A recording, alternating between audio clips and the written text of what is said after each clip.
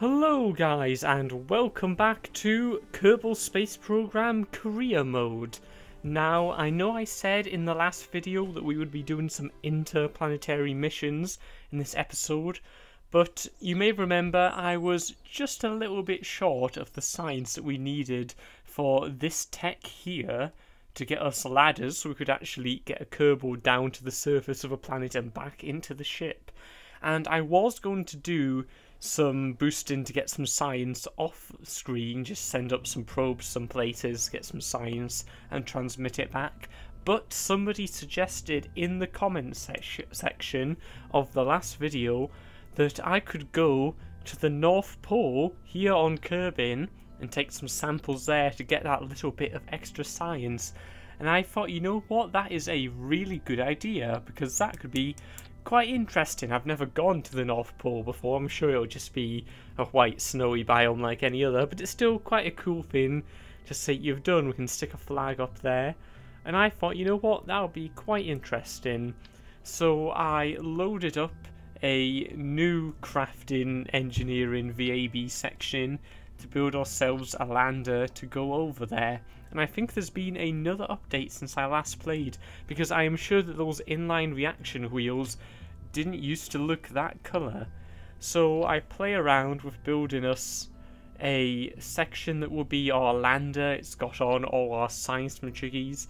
I decided I'll mount on some radio engines uh, radial fuel tanks as opposed to just one column stack so that we can have the whole thing be shorter, less likely to topple on landing.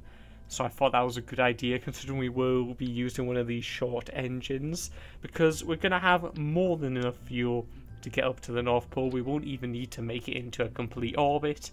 So the chances are I'm going to be dropping quite a lot of fuel back down into Kerbin. So there's no need to really design this to the most optimum way that we can. So I've designed on here a little section that will be our lander and I decide I'm going to put on some batteries and solar panels because I don't want to go all the way to the North Pole just to find out that we have lost our um, ability to control this thing because that would be a disaster. So I'm going to stick those on now. I think I'm just going to mount them up the side really because again we don't really need to be that optimum and we can just tip the thing over if we need to get him out in a minute because we are safe enough that we can just recover the vessel even if it's break off. Obviously we're going to need the ladders future missions because we won't be able to do that but we can worry about that when it comes to it. So I start to build the land, the launch stage now that we have our lander finished, and normally I would use the same stage that I've been using for all the missions, but again here we are gonna need nowhere near as much fuel as we normally do. Normally this fin would be able to make it to the moon and back, and we really don't need that.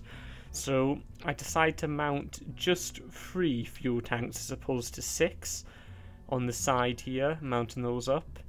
And again, I'm not to worry about having the most efficient way of decoupling them. I'm only going to put two double tanks on here as opposed to three. And you'll see in a minute this is again going to be far too much fuel even with all these cutbacks that I'm doing just to try and speed up the mission. So I get the best solid boosters and I believe I mount those radially onto those extra three. Yes, I do. You can see me doing it up here. And it's not quite straight, but I hope I'm going to go back and fix that in a moment, as well as moving it down. And when I actually take a look at it in a minute, I realise I didn't even put those solid boosters onto the decouplers straight. But I will come and fix that later on. Right now, I'm going to run around with all the struts and strut everything together because struts are really your best friend in this game. They make your ships so, so much more sturdy. And normally, if I launched this fin, it would be wobbling and things would be flying off everywhere. It would be a disaster, guys. But thanks to the improvement of struts, we don't have to worry about any of that. We can just send it off, and it will all hold together which is fantastic. One of the best techs you can get if you are starting off a career mode let's play in this game. So I want to hear your guys' opinions in the comment section because next video we'll have all the tech required to head to a planet and I want you guys to let me know do you want me to head in one planet to Eve which is a purple planet? I believe it's smaller but more dense than Kerbin is or do you want us to head out a planet to Duna which is a red planet very similar to Mars sort of idea so you guys let me know what you think and we can get ourselves out to one of those planets in the next episode. You can see now I'm just playing around with the stage in here to make sure everything goes off at the right time. You don't know how many missions I've done where I forgot to play around with the staging, got onto the launch pad, and then just crazy shit has happened, and I don't even know, guys. It's very, very bad. And by fixing those um, solid boosters now, I kind of mess up the struts, but it's good enough for a short mission like ours. We don't need it to be optimal, as I was saying earlier. So, after I think I now have everything sorted, I'm just going to name it. We're going to call it the Polar Express, as that is where we are going for this mission. I'm really excited to get to the North Pole, guys. We're going to plant a flag. It's going to be all heroic and shit. It's going to be brilliant. So now we get ourselves out onto the launch stage. Onto the launch pad, I should say. So I'm going to speed up the video here to two or three times. I can't remember which. I think I might have actually gone somewhere in the middle, 250% or so. And without further ado, I time warp into day so I can actually see what I'm doing. And I launch. Now I put the throttle on around two thirds so that the solid boosters again the most efficiency and we're not going to boost really fast and then get slowed down by drag once we drop them. So I'm going around two thirds throttle boosting up nice and easy. I decided to go for some crazy cinematic viewpoint here so we watch those solid boosters fly past us and then up to full throttle and you can see we didn't actually drop too much speed in that process which means it was very efficient which is what we want. And we're going to be heading off, instead of doing a gravity turn to the east, this time we'll be doing one to the north, of course. Have to remember that, I don't want to go off in some crazy direction. I think I am actually tilted slightly over to the north as it is just to get me sort of heading in that direction. So we're getting up now into the higher area of the atmosphere as we can see from that atmosphere gauge. So I'm turning over to I believe around 20 degrees from vertical because again the way this ship's built with its engines and fuel it's not very weight efficient it's very heavy. So we get a much greater effect from the gravity component of the weight and it's going to pull us down a lot more and change the angle of our velocity vector a lot more than it would on a fully optimized ship. So I don't turn over as great as I normally would we can see me now, I'm starting to get very high up, we're almost out of the atmosphere completely, we're at 55,000 metres, I believe 70,000 is where the atmosphere ends, so our apoapsis is definitely out of there. Can see I'm time warping up to it now, so we get the advantage of no friction. I don't know, yes we will, we are definitely over 70, we're 83 there, and now I'm going to burn horizontally just to expand our trajectory up into the North Pole. You can see it there, sticking up over the top of Kerbin. And as you can see, we have far more fuel than we're ever going to need. We could probably use this launch stage to slow down to a stop still, and still have leftover fuel, which is definitely, definitely a lot more than we needed. But so is the way things when I have all this good technology, but we're just doing missions inside of Kerbin and that's why we're going to be expanding out into the other planets of the solar system soon. But anyway, we get our trajectory out over the North Pole. Now I'm aware that when I slow down the ship, that trajectory is going to shrink, so I overshoot the edge of the North Pole by quite a margin, so that I can do so safely without missing the North Pole and landing in the sea and making this whole mission a waste. So coming in hot now, we're starting to re-enter the atmosphere and getting that burning up friction effect as we hit the air. So I'm going to burn retrograde to slow ourselves down because we were doing around 2,000 meters per second when we entered. And obviously we want to be hitting around 200 meters per second on the slow part of our descent before we open the parachute. So we're coming down now and I'm starting to think about dropping, there we go, that launch stage just because we have more fuel than we need, so we may as well get rid of it and start burning on this smaller ship that we're going to land with. So I deploy the lander legs, we're hitting around 200 meters per second.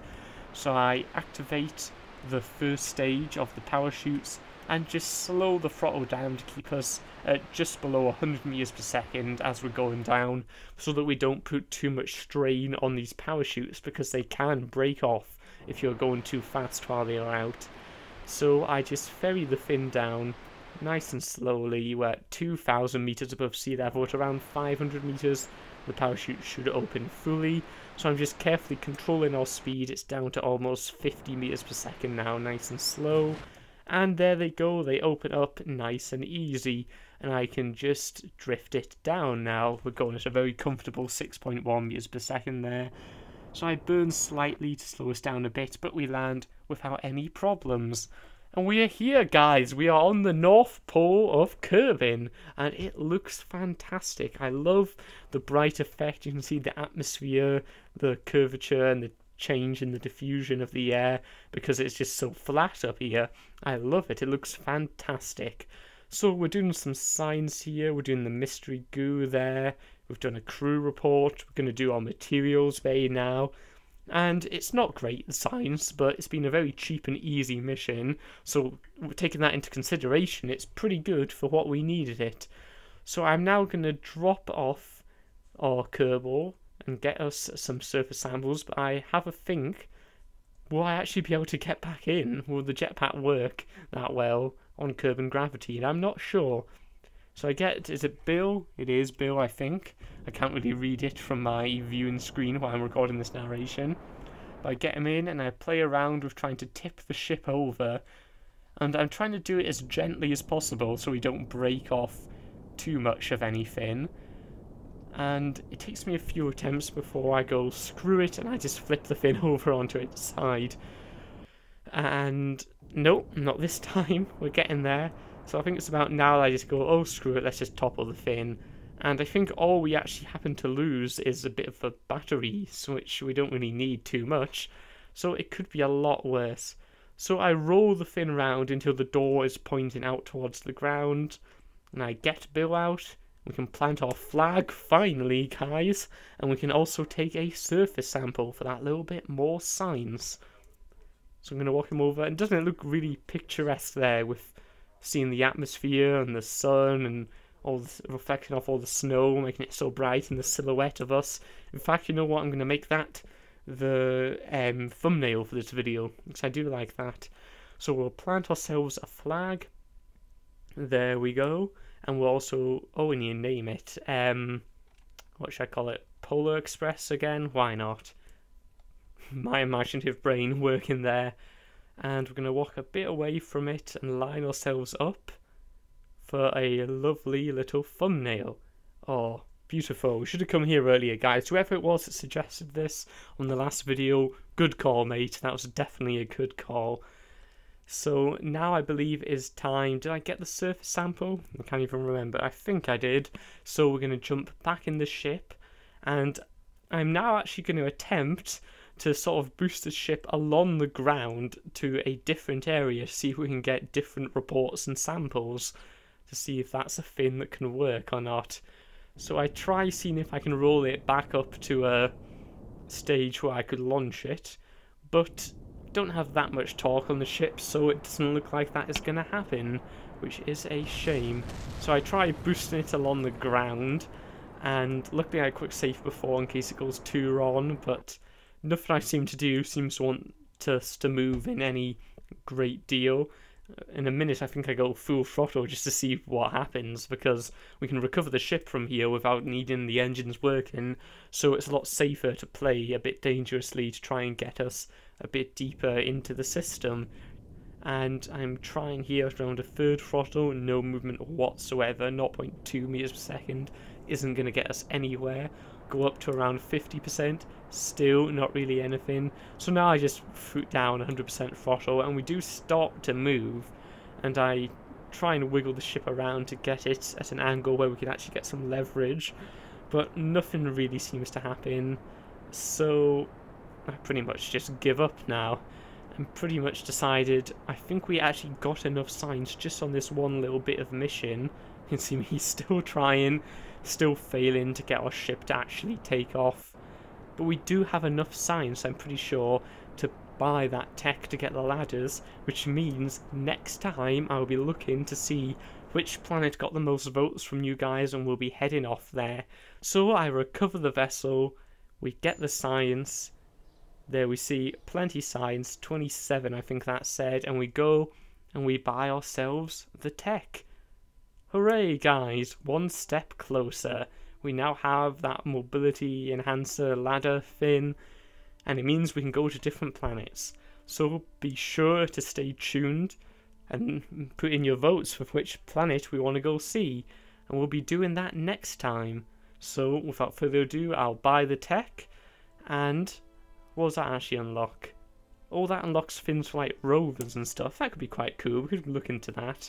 But then again, I am quite excited to try and get the better engines for some further out missions a bit up the page here, the nuclear engines and the bigger 3 meter engines.